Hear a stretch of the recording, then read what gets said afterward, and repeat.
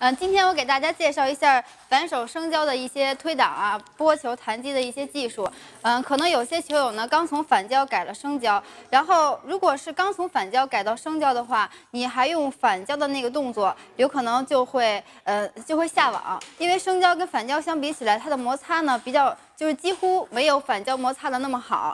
然后第一开始学习的时候，肯定是先学习反手拨球，这个时候呢要注意两。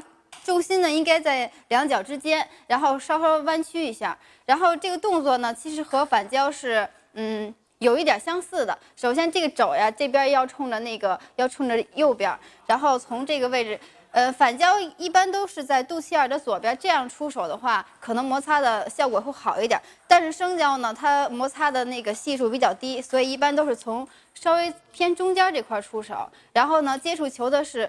球的高点，高点的时候动作往前拨，绕着这个肘往前转，这样往前拨，然后同时还要注意脚下的调节，因为打生胶的话，可能那个对步伐要求稍微高一点，所以前后啊都需要进行调节。只有在合适的点的时候，你往前拨，这个时候它那个回球才会嗯质量比较高。而且还有一点是，如果你是拨球的话，就应该是借力发力，不要不需要自己主动的发力。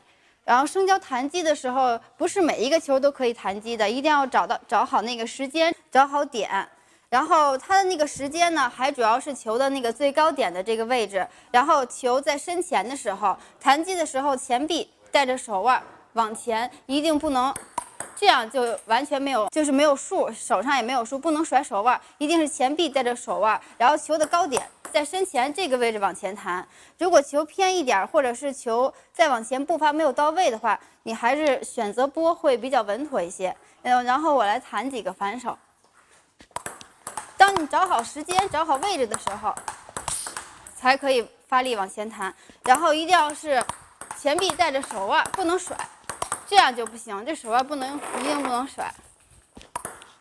找好位置，步伐一定要跟上。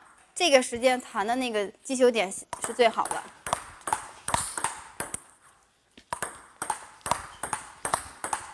一定要在身前的这个位置。然后，呃，一般就是刚反手是生胶的那些，呃，反手是生胶的球友，一般是，嗯，上旋球摆速应该是比较占优势的，因为反手生胶可能打过去的球会比较沉。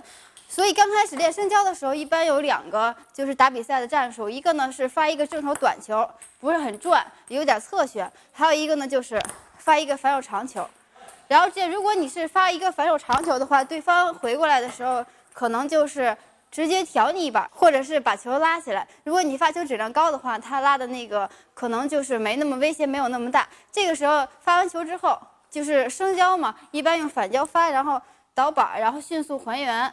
当对方拉过来，或者是对方回球的时候，你这个时候重心一定要在两两脚之间。然后，如果是反手，就直接对反手相持。然后到正手就是直接打摆速。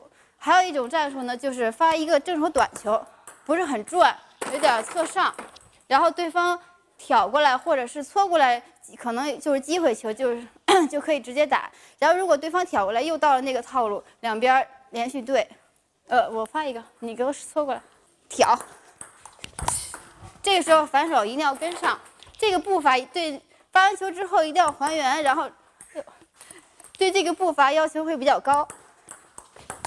这个时候可能就用到刚才的那个弹击的技术。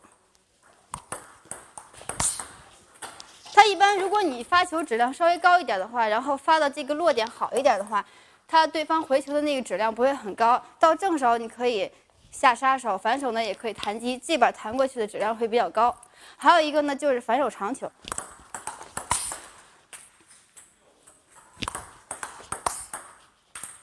在这里呢主要说一下，如果对方反手是就是带过来的会比较好接，但是如果对方反手有弧线了、加转了，这个时候如果你防守的话，一定要借力发力，点不能太晚，在上升期、上升前期。一定要贴住，如果它到了最高点，它的旋转就出来了。一定要借它的力，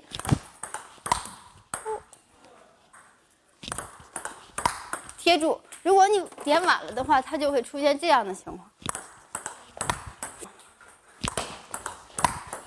所以说。这个反手生胶呢，它可以给对方造成一定的威胁，但是呢，就是自己在处理的时候一定要找好击球点，然后身体步伐一定要跟上，前后有可能对方回球质量不高，会回比较短的球。如果你这个时候这样打，对于反手生交的话，其实是比较困难的，所以一定要上步，一定要在身前击这个球，然后反手拨、反手弹，都要前臂带动手腕，不能用那个手腕自己来。动，这样会，嗯，回球的质量就会比较高。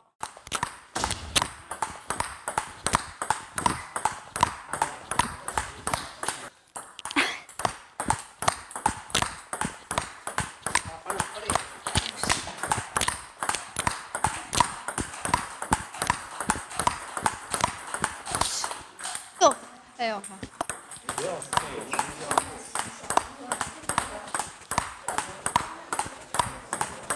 这个是波，